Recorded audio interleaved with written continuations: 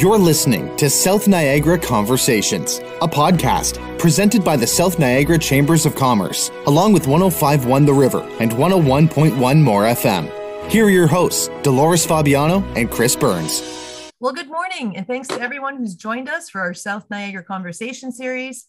For those of you who are tuning in from afar, we represent the communities of Fort Erie, Niagara Falls, Port Colborne, Wainfleet, Welland, and Pelham. We're located in Southern Ontario, a wonderful place to live, work, and play. This morning, Chris Burns, owner of 105.1 The River and 101.1 More FM, joins me as co host. Good morning, Chris. How are you? I'm good. Thanks, Dolores. Good to be here. Great, great. Good to see you. I, uh, I want to give a shout out to our sponsor, the Small Business Enterprise Center, City of Niagara Falls. They're great supporters of our chamber and of our local business community. Chris, this morning we're going to discuss the trades, why we have such a shortage, and what we need to do right now to ensure a healthy trades workforce moving forward. We have a great panel joining us for the conversation, so let's get to it. Chris, who do we have joining us this morning? Dolores, this morning uh, we welcome Marco Magazzeni and Anthony Corrizzato from the Niagara Catholic District School Board, and also Rich Di Pietro from the International Brotherhood of Electrical Workers, 303 Niagara. Great to have you here this morning, gentlemen. And Marco, if I could start with you. Uh, at the high school level, are you seeing many students uh, exploring and interested in a career in the trades these days? I think the the interest is increasing, and I think it's increasing at a, at a rapid rate. I think with uh, with all the talk about it uh, in in the media and, and around dinner tables at home, and uh, you, you seem to see provincial, municipal, and federal levels of government um, making a push uh, for what you know some are calling in some sectors a crisis uh, looming. We we hosted a job fair. Anthony led a job fair uh, in St. Catharines the other day, and it kind of took me back that the average age of a bricklayer in Niagara is 61 years old. So it's our it's our mandate as as Niagara Catholic District School Board to make sure that we're paying attention to that and uh, encourage students in our secondary, but also our elementary schools to start considering it. Yeah, you know, it's it's funny, Marco. I, there, there's not a year that that goes by that I don't have friends, family, colleagues, uh, parents who say to me, "Can you talk to my kid and convince him to go into business or go to university?" Um, they're thinking of taking a trade but you know we really want them want them to go in this direction. And i always say absolutely not. Like a, a trade is a great career path if that's where their interest lies. And what's ultimately going to happen is you're going to force them to go to university and year two or year three um, they're going to you know change that path. So no I, I, I won't do that.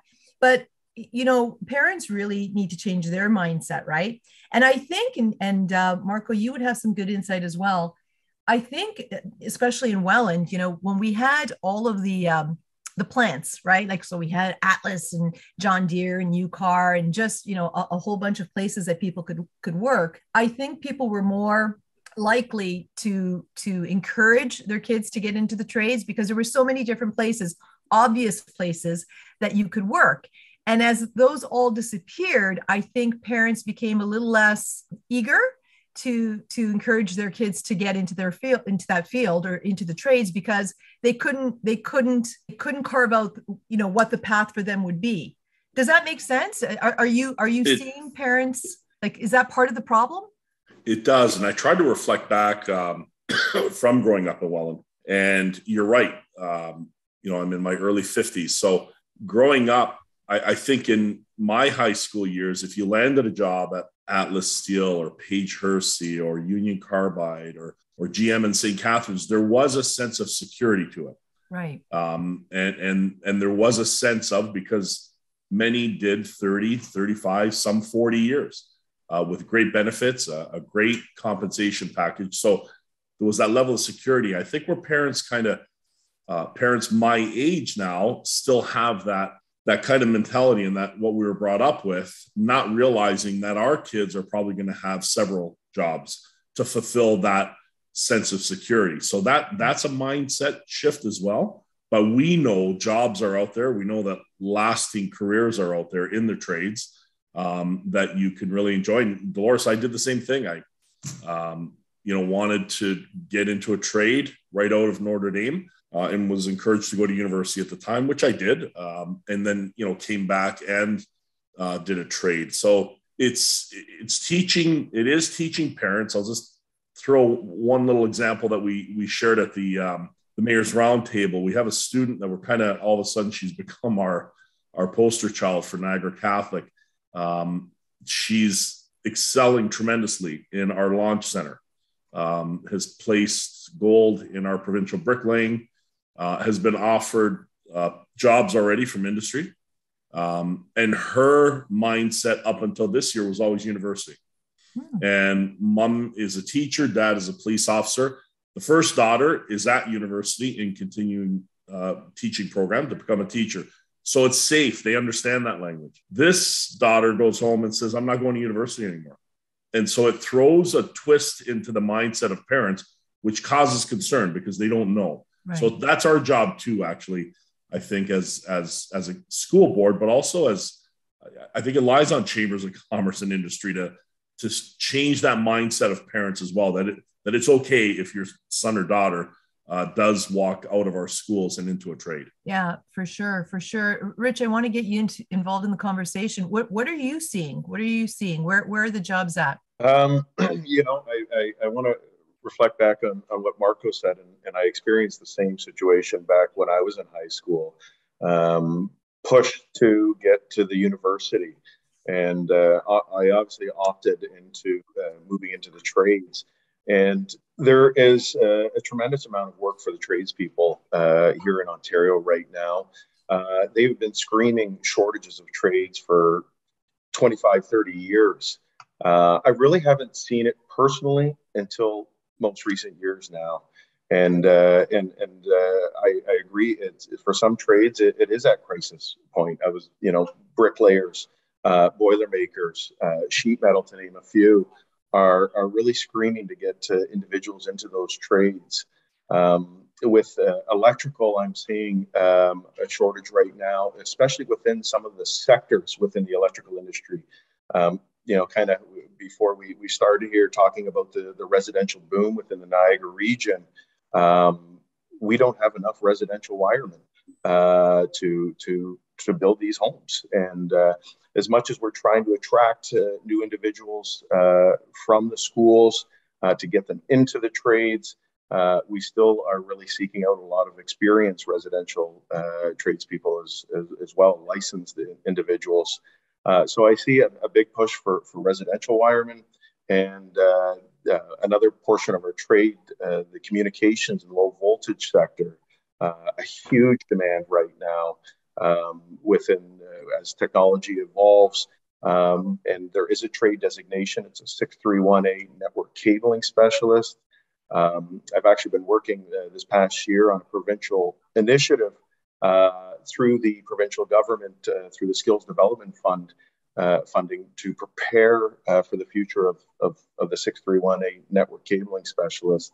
Um, technology is changing, the electrical trade is changing. So uh, there is a lot of need um, within the trades right now, and I'm, I'm, excited to hear that the schools are continuing this message. I know it hasn't just started recently, but uh, I think the school systems need to continue to push, and it's fantastic that the, the Commerce are, are recognizing that as well. Anthony, are, are you guys um, uh, connected with the different trade associations so that as, as a school board that, that is encouraging kids to get into the trades? you can direct them into the trades that have the best uh, opportunities for them. Are, are, are, you guys making that connection? Yeah, so we're very lucky to have uh, strong partnerships with uh, the Niagara Industrial Association and mm-hmm. also the Niagara Home Builders Association.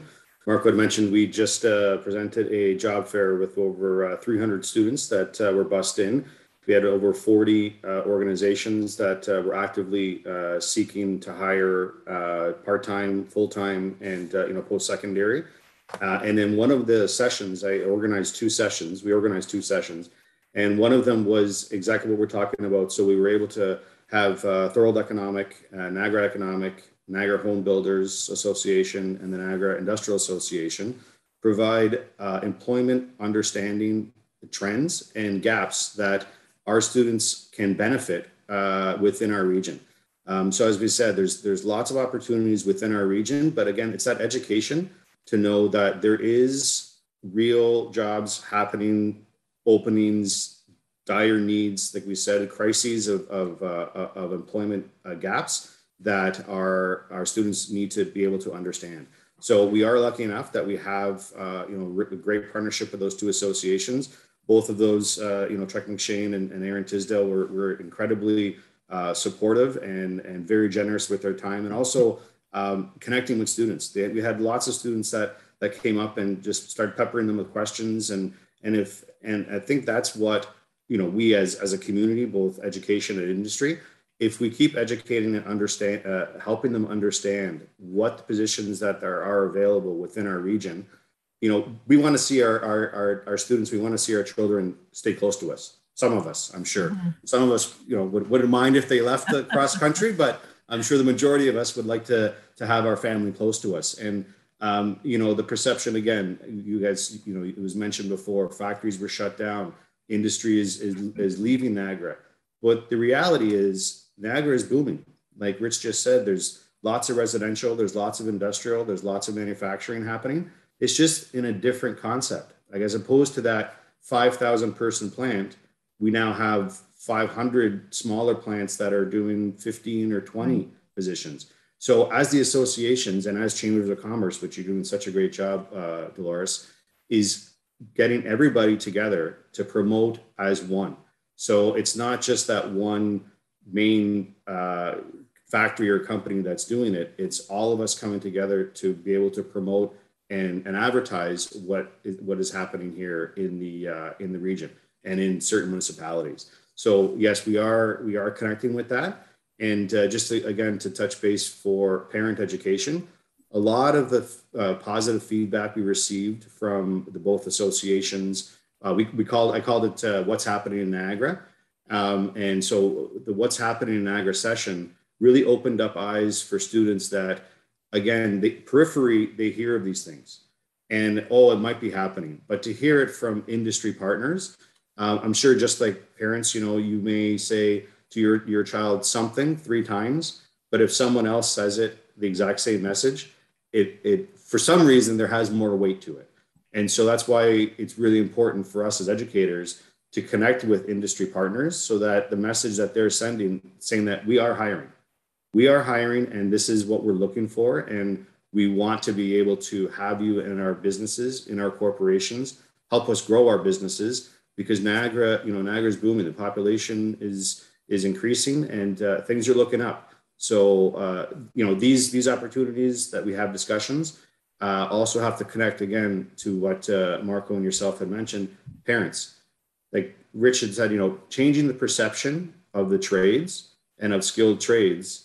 Uh, although it's, uh, you know, my dad, I grew up. My dad was a senior electrician for CN, and um, you know, I didn't see a repairman in my house uh, the entire time I, I, lived. I lived at home, and I was always amazed at what he could do um, and what he was able to accomplish. And you know, that's that's intelligence, right? So not only was it intelligent, but he was also able to provide for you know his family and uh, and for all of us. So changing the mindset, which is also, if I can just touch base, uh, which is also the mindset of now uh, the the uh, province. So we, the province just did a, a major rehaul and a restudy of what their uh, OYAP, Ontario Youth Apprenticeship Program, looks like, how it is promoted, and how it is um, uh, put forth. And one of the major stumbling blocks was the perception of trades in society.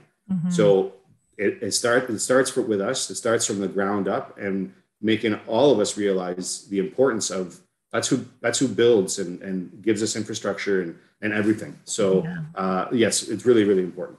I always say if you have a trade, you're you're really set for life. And and I always go back to a story. Um, so so years ago, um, when Atlas Steels, Marco, you'll remember, closed, our Chamber of Commerce hosted a um, um, a, kind of a, trade show uh, that coincided with the last shift of Atlas Steels, and the trade show was really to talk to to people who had been displaced, lost their jobs, about you know um, starting up businesses we we have a um, benefits program for members and so we were looking at how we could help them uh, access benefits and also for a lot of them they needed their ged And so we worked with a local uh, credit union to bring in the GED program to to Welland so that they could take the program in Welland instead of having to go to Hamilton. And um, we also set up a loan program to um, help them pay for it.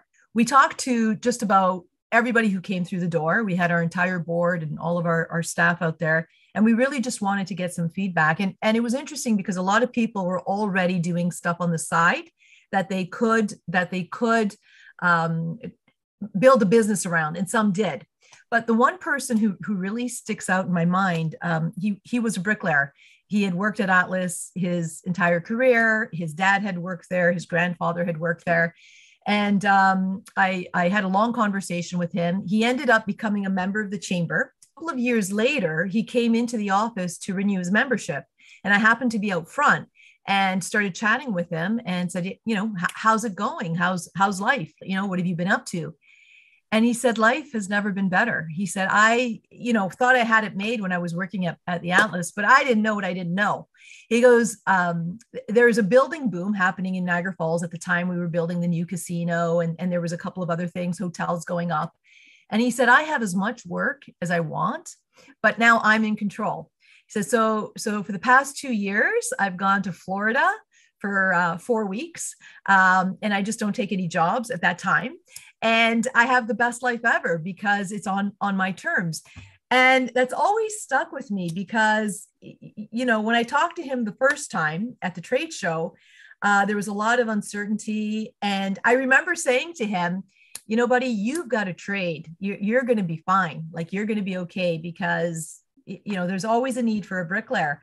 And uh, it really turned out to be true. And and uh, it just makes me feel so good that he he you know ended up being better than okay. And i think it's important that that kids and their parents understand it's not just you know a career path. It's a very uh, lucrative career path. Like you can have a great life uh, make really great money and um, and and and enjoy all of the things that that come with that if you take that that pathway right? That's that's part of of the message that we have to get out there i think. It's a great story dolores. Um, you know one of the questions i had for you know for for all of you is uh, you know what really is the root behind uh, you know these shortages? Is it perception? Um, what, what's really causing this? And, and and how do we solve it? Because uh, you know, this is an ongoing issue. It's not the first year that this has cropped up. Uh, I'd really appreciate, uh, you know, your views, uh, all three of you. If uh, if I could start, and you know, Marco and Richie have the industry experience as well. So, so part of my portfolio is is is also cooperative education, and you know, at, at, the mayor's roundtable with with the industry partners and also with the, the people that we've spoken to thus far um, getting students early to understand the joy and the satisfaction and the option, the pathway that they can, uh, that is open to them. Rich, you say, you know, we, this has been a problem. Uh, Chris, you said this is a problem, um, you know, earlier before. And well, that's because 10 years ago, did we do the right job that we're in the job that we're in the situation we are now 10 years later? So if, you know, in the past, it's has been a grade 10, grade 11 focus. Let's talk about pathways right now. But, and that's where industry and education need to connect more and understand where that is. In grade 10, grade 11, it, it's, it's a little late because they may have already understood where they're going or taking courses or not having the experience that they have early. So what one of our um, one of the things that we do and we're going to continue to do is get them earlier to to to capture their imagination when they're in that five, six, seven, understanding that what this really is and what the value of you could have later on. And then the, the last thing I want to touch on is uh, so the cooperative education. It's really important, I think, as an you know as experiential learning consultant, that they need to experience what that job means and what that is. So it's it's and we're very very fortunate to have you know a lot of great community partners for for our students to to participate in uh, authentic learning experiences and, and, cooperative education opportunities. But the more uh, the more of those connections we can make, and the more ways that we can get students at workplaces to understand the value, satisfaction, and uh, and future that they have in in the trades and skilled trades and in, in all of our workspaces, would certainly uh, benefit, I think, uh, moving forward.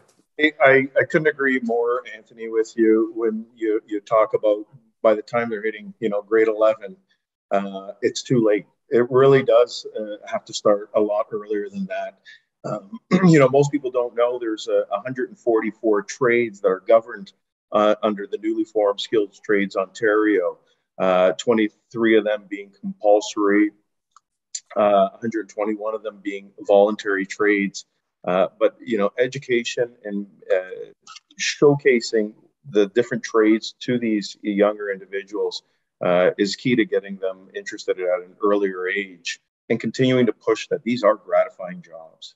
You know, tradespeople come home at the end of the day and realize or feel a sense of accomplishment that they're helping build the communities that we live in, the communities that their children are going to be a part of for years to come. So um, these are rewarding jobs, and and and it, it, it's great to see um, even even the government, both uh, provincially and federally, uh, continue to push that those message. And uh, you know, Monte McNaughton, how many times have you heard him say you have a, a a trade uh, a trade you have a job for life right the, this messaging is, is now finally coming from all avenues and uh, i hope that that continues and and hopefully the uh, you know even the elementary schools start pushing it at a much younger age um, to these individuals so by the time they hit you know grade 10 11 12 um, they're already thinking i'd like to get into the trades i'd like to work with my my hands i'd like to build my community okay Cool.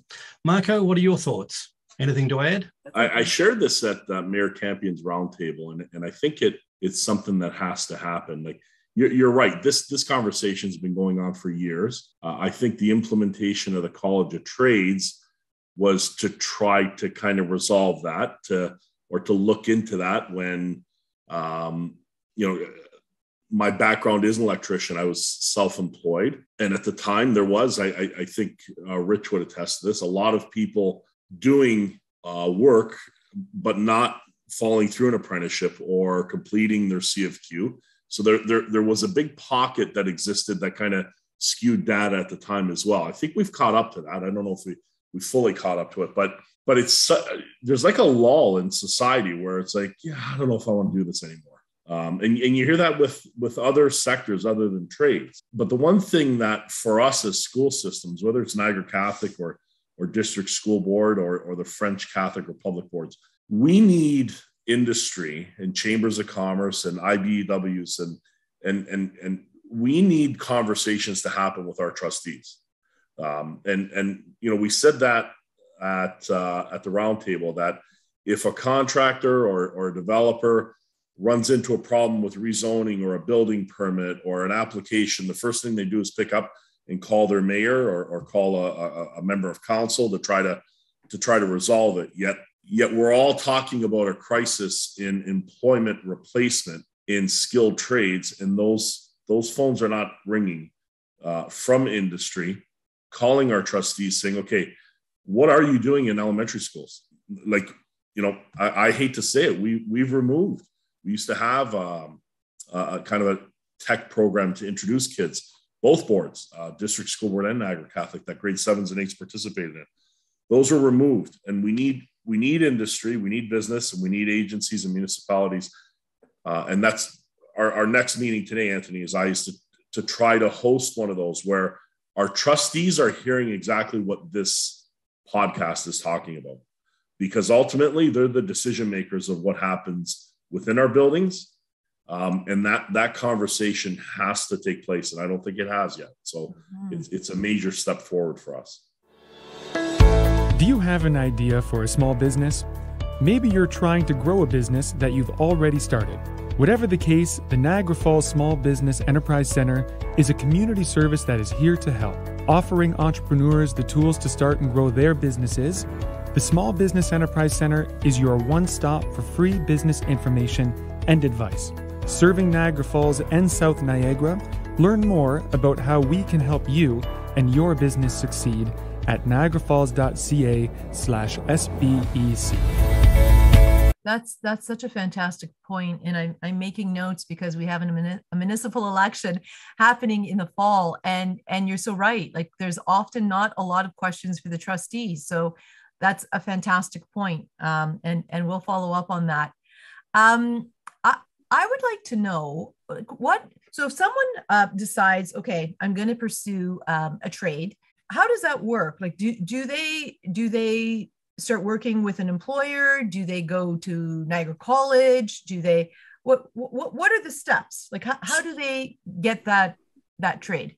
Uh, grade eight is a big year because you're you're picking, you're selecting your courses. We start a little bit earlier with some uh, career dialogue with grade sevens.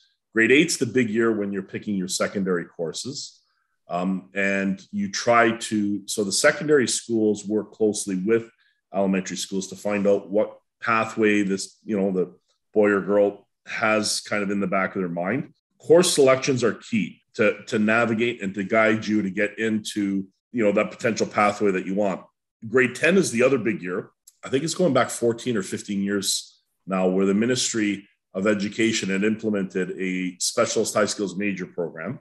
The specialist high skills major program was basically a roundtable with Ministry of Education and industry and business to say, okay, how, how do we kind of get our, our students uh, pre-packaged before they leave uh, high school? And that specialist high skills major now. So if I'm a, a student coming out of Notre Dame saying, I want to get into construction, I'm in grade 10, mm-hmm. our guidance counselors, you know, their role is to uh, get you into one of these specialist high skills major programs. At that point, Dolores, you're you're kind of mandated what courses you're going to take. So you're going to take uh, four credits in construction.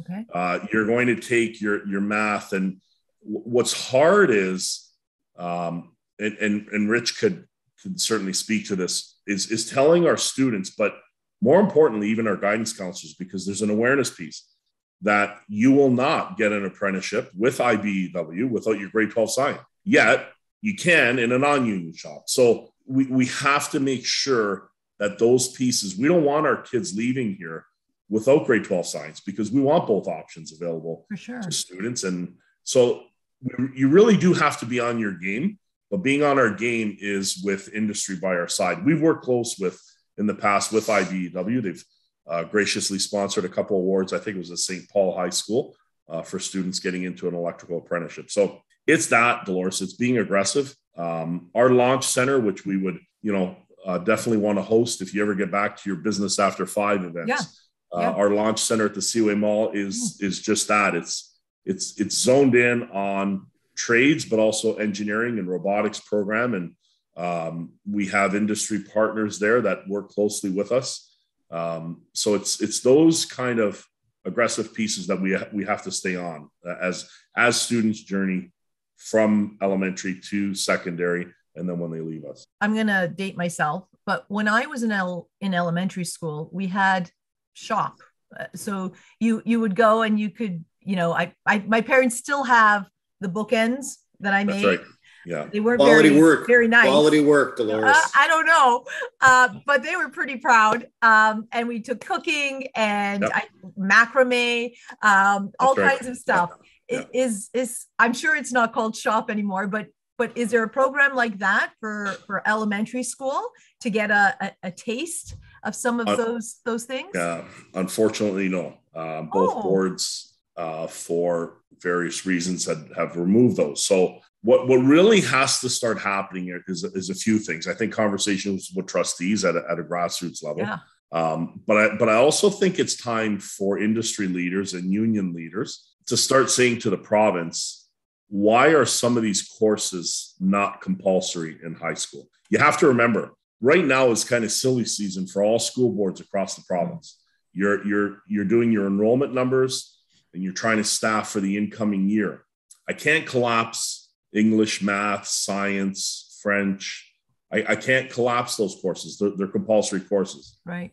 A construction class is not a compulsory course, right? Uh, uh, like, and I'm not, but it, but it's time that you can't keep continuing this conversation, like Chris said earlier, and not make some dramatic changes from a ministry perspective to say. And I and I think the government is right now. They are they are changing some things, and they are you know, insisting on STEM being infused in curriculum, the science, technology, uh, engineering, and math. So there's there's slow steps, but some of these courses at some point, I hope before uh, I exit that they're actually mandatory that kids even for a basic skill set like Yeah. great you want to go into to become the next doctor that's great but you need to know how to hang a picture on the wall too so It's That's a, it's a great that's a great point. So you know, how far in advance are we looking? Because you know, whilst there'll always be a need for an electrician and a bricklayer, um, what what are some of the the new trades that are are on the horizon that might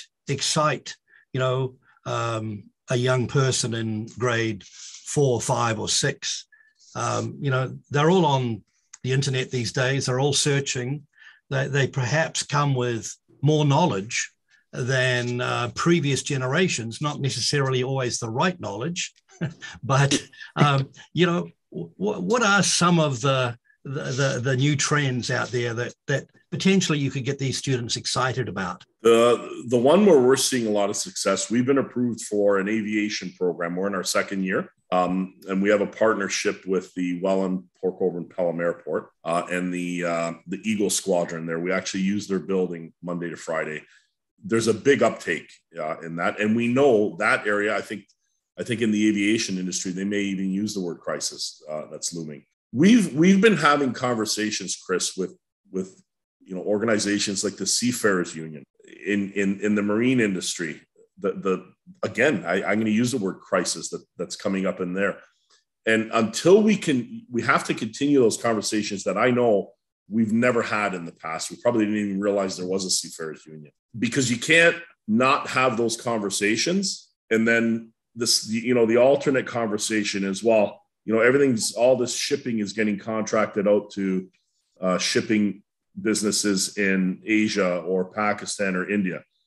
They are if we don't get our act together to say we, we have to replenish our labor pool in order to sustain our own companies that are here so it's a big undertaking but we can't do it alone hmm And, and can I just put a, a little plug in there for ceramic tile uh, installers? Because still looking for one. Sorry, Chris. I just had to get that in there. And if I, if I can just, if I can just piggyback on that, Marco. So there is uh, the the Marine Tech Maritech is there is a conference next uh, next Thursday that they're hosting, and uh, so their stat is that they're they're going to be looking for the the estimate is nineteen thousand new jobs in the next ten years. That's that's that's the stat from uh, Canadian Marine Industry Foundation that I had to read three times. Uh, that's just one of the foundations. So, like again, Marco mentioned the Seafarers Union. The other one, Chris, that uh, that is is really you know to get that new you know youthful look. Even though we need traditional uh, skills like uh, uh, that Rich had said, the information communications technology sector is uh, also you know digital computer applications. You know all the stuff that you know, one of the session people that we had was a young entrepreneur. He's 18 years old. Uh, he started editing Fortnite videos. Uh, you know, he was being made fun of by his friend, and he. This is part of his presentation. He was being made fun of by his friends, and uh, just kept on doing what he wanted to do. And now he's uh, incredibly successful real estate marketing, social media superstar. Hmm. Right. So again, there are things that there are changing the way business is being done, which we all understand. Uh, but then there's also booming fields, like you said, Chris, that that also need to be uh, promoted and, and expected. And but that also needs the technical side, right? So those Mhm. trades, elect, um, uh, you know, electrical engineering, and and and those those aspects of someone putting that board together uh, is is incredibly exciting, and and the green industries. So if we think of, of the trades that have to go into the green industries, um, we have, you know, we're very lucky to have uh, INNIO Waukesha uh, here in Welland, and, and they're helping, you know, their engines are helping pump green uh, uh, energy throughout, you know, the world and, and throughout Canada. So even having the traditional trade in a non-traditional format or a non-traditional sector also is exciting. Like, how do I apply that to something new and innovative? And that's what we all, you know, we all strive for, and that's what we all promote for our, our ourselves and our, our students and, in the future. But how do we do that in uh, more, a non-conventional way? So Right. that's that's the exciting part of uh, of these of the, of the new things, and, and hopefully again spark an interest in a new generation of, uh, you know, it's it's not the internal combustion engine mechanic now. It's now my nephew, uh, licensed mechanic, and uh, he you know moved around four or five shops, and now he's working at a, a high end electrical um, um, green energy electrical. I think the name right. Green energy electrical mechanical shop uh, strictly for you know e-vehicles and there's you know there's not there's there's not a lot of wrenches to be found right uh, but yet he's still a mechanic so that's that still is going on in a non-traditional innovative sector so I, i'm just curious if if um, a young person hasn't followed that path uh, through high school get through high school maybe they go to university for a year or two um, and then decide no not for me. I do want to get into the trades. Is it too late for them? Can, can they still can they still get into a trade? And, and what would that pathway look like? It's it's absolutely uh, possible. And and um, i sat actually on our uh, joint apprenticeship committee for for nine years um, and i've been through uh, many of intakes of uh, when we were you know having new intakes for brand new apprentices looking to get into the trade and uh, compared to uh, the first intake I was a part of in I think 2011 compared to you know 2018 um, the bulk of our applicants were individuals that have already attempted uh, you know a college or university uh, in a different uh, a different field and have realized that it's not for them mm-hmm. and have come back um, there was fewer young people coming out of high school than uh, than people that uh, were coming from the universities. I just wanted to, to touch on um, uh, what Marco had mentioned earlier about uh, with the IBEW uh, requiring a grade 12 science. We do require a grade 12 and a grade 12 college or university math. Uh, we don't require a grade 12 science. Mm-hmm. but you're absolutely right that the ministry standards and and I, I'd like to see it changed um, to become an electrician, you actually only need a grade 10. Um, I think it should be pushed up. Uh, without it uh, having that grade 12 or that grade 12 uh, and that grade 12 college university math and physics is, a, is, a, is an added bonus as well that that individual is, uh, you're basically setting them up um, for failure because they're going to have uh, trouble uh, achieving their license um, the electrical program is 9000 hours three terms of trade school, uh, basic, intermediate, and advanced, and it's very uh, math heavy.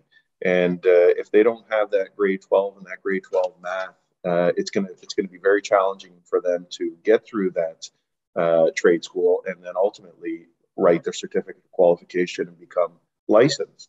Um, so that and, I think a part a part of the reason we've seen, and I, am going to speak specifically to the electrical um, there was a lot of people that I've seen uh, divert out of the trade over the last decade that have been kind of in, a, in the role of uh, membership development uh, because they weren't getting that formal apprenticeship. They weren't getting uh, having the ability to go to trade school, and they got discouraged. They got discouraged and and wanted and, and ultimately left the field making sure that the uh, students, uh, you know, in the high schools understand how the apprenticeship program works and the importance of having a formal apprenticeship, whether it's a compulsory trade or a voluntary trade, and ultimately getting a trade license, in my, in my eyes, is extremely important. Um, compulsory trades, uh, like electrical, like plumbing, you have to be a licensed journey person or a registered apprentice to work in that craft. Uh, uh, a voluntary trade uh, like carpentry, you don't need to be a, a, registered apprentice or a licensed carpenter to frame houses. But I would encourage at the, at the early levels, if you are getting into the trade, whether it's compulsory or non compulsory, get that trade license. It's going to add a, a, a, safety component, uh, an educational component on your craft, but having that ticket uh, means something and is going to open up more opportunities down the ro- uh, down the road. So I hope that's getting pushed uh, at the students, understanding the apprenticeship program and, and, and making sure that they're fulfilling and getting that uh, trade license at the end of the day. If I can just uh, piggyback on, on that, Rich. So in, on the heels of uh, the provincial review that was done, and I mentioned about the perception, one of also the barriers that they themselves under, understood was the lack of clear communication of apprenticeship pathways. So the ministry themselves understood that they were very convoluted in promoting and, and explaining how you go about the pathway for apprenticeship and and eventually journey person and, and ticketing. Um, and so they are currently redesigning now with Skill Trades Ontario and MTLSD.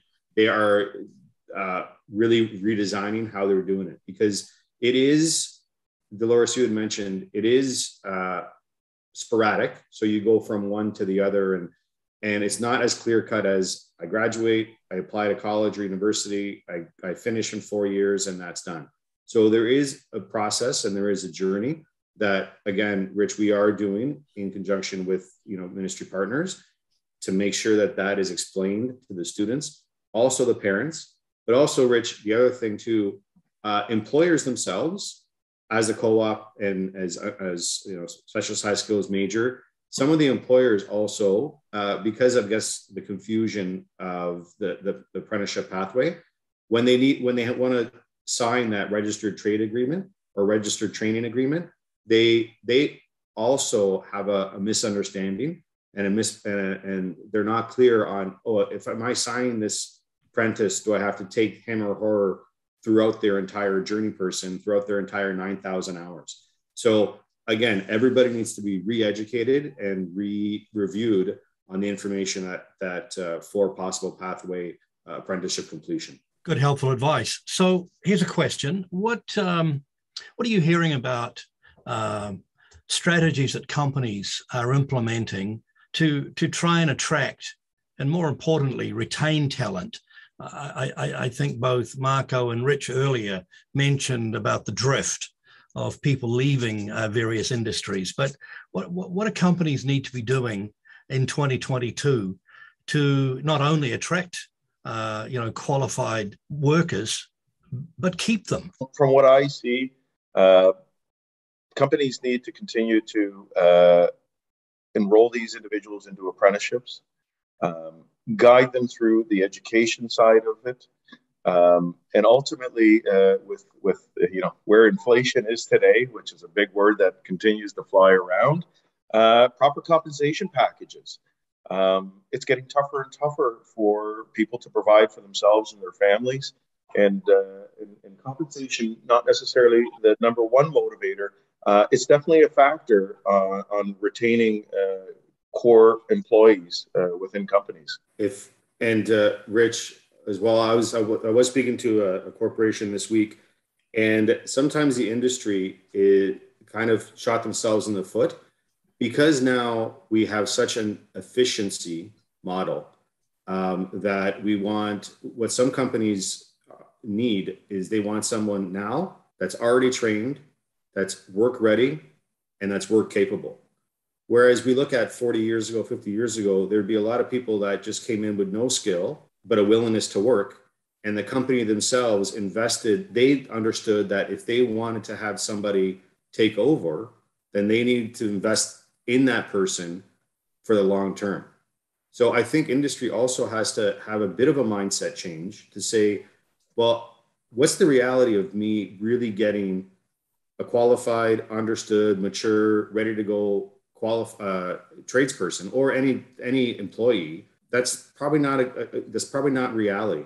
So they themselves have to change and say okay well maybe we have to like you said rich support that person that education you know that drift away. Well if they weren't if they don't feel supported then they feel lost they don't feel valued and then they don't continue. So it has to be a little bit of a give and take with both. Industry has to take a chance and yes it might hurt the bottom line but that bottom line, is it better for a, a one year investment or a two year investment or to understand the 10 year dividends that you're going to get by training and supporting that, that individual? I agree.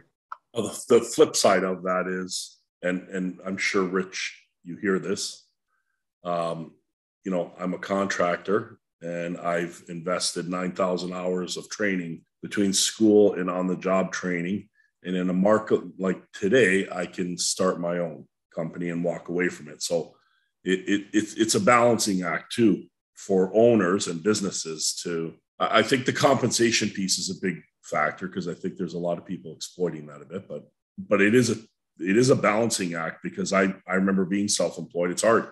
You put a lot of time and effort into someone and um, they walk away and it, it, it, creates a big void in, in the organization. It's, it's not easy. One, one thing that came out from the mayor's uh, talk, uh, there were a couple companies there that are really pushing in-house training, which I thought was interesting. Um, I know I know IBEW does it. I know I know it's always been a practice of yours. Um, I don't know that it's been a practice for non-union a lot of of a continual in-house training. So I, I found that interesting, which I think is a really good thing. There, there's there's no doubt uh, that not only the IBEW but a, a lot of the building trades unions invest millions, millions of dollars uh, in training, uh, upgrading, uh, upskilling their their members, safety training. Um, and you know, unfortunately, it, it doesn't happen uh, in the non-union, and, and, that is why I mean the IBEW um, retention is, is, is extremely high. Um, you know, uh, there was studies done by the Ontario Construction Secretariat, the a few years, you know, quite a few years back on uh, apprentices. Um, you know, and, and and those days, I mean, it was our retention for apprentice completions uh, were well above ninety percent where where the non-union was was falling under 50% on completions of apprenticeships and that was you know goes back to my earlier comments that um, you know i can't i can't tell you how many individuals i've talked to working uh, with with a non-union contractor over the last decade that wasn't registered that wasn't in a formal apprenticeship that had put in i'm talking not one year i'm talking five years without having that formal apprenticeship um, and yes, it, you know, it, it, it's it's illegal that you know we are a compulsory trade. You're either a certified journey person or a registered apprentice, but it has been rampant. Um, I myself uh, started with a non-union contractor and uh, and worked as an unregistered apprentice. I didn't know I was doing something illegal at the time. You know, I mean, internet wasn't as uh, as uh, accessible as it is today. I didn't I didn't know, and I wasn't being told uh, by my employer. But uh, luckily, I, I, stuck with it. Um, and I did end up uh, joining the IBEW and getting that formal apprenticeship, completing my formal apprenticeship with the IBEW, and obviously becoming a, a licensed journey person. So, I mean, I, I, look back at my own scenario and think, you know, I, I, am fortunate, but there, there's been hundreds, if not thousands, of people that that you know went a year, two, five without getting that apprenticeship and just said, "That's enough. I'm leaving, and I'm going to find another career path." So. Um, that's you know, going back to previous comment, that's where it's important that these uh, young individuals that are coming out of high school understand the uh, apprenticeship program and the importance of getting signed on day one, not year five, um, and making sure that they're going to be retaining into that trade. Great point, Rich. And well, look, Anthony, and Marco, and Rich, thank you so much. Uh, some really interesting insights here this morning. Um, and, and I think that will be you know, we'll look at things moving forward here, and and and hopefully uh, we're going to see more people, uh, you know, come into trades because, as someone pointed out at the beginning of this call, you know, the average age of a bricklayer is uh, is is sixty. Um, and and you look through the various other trades, and and it's certainly up there. Uh, if you go onto a building site these days and you look at uh, the amount of grey hair that's uh, you know that's on those sites. Um, it really is very concerning for the future if we can't entice uh, young people to uh, to go into these trades. So thank you so much for your comments and insights today. Truly appreciate it. Thank you, Dolores. Thank you. Uh, what have we got planned for next week? Yeah, you can hear my dog barking. Of course, we couldn't get through the podcast without her barking. So sorry about that. Uh, thanks for the conversation today. I learned so much. Next week, we're going to take a break and then we'll be back with our final episode of the season. Um, so we look forward to that. To all of our listeners, send us the topics that you're talking about because we want to talk about them too. Thanks again for tuning in and have yourselves a wonderful day.